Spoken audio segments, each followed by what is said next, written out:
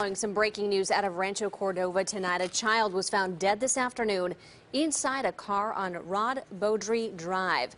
A police officer noticed a car parked the wrong way. When the officer looked inside, a toddler-aged child was found underneath some blankets.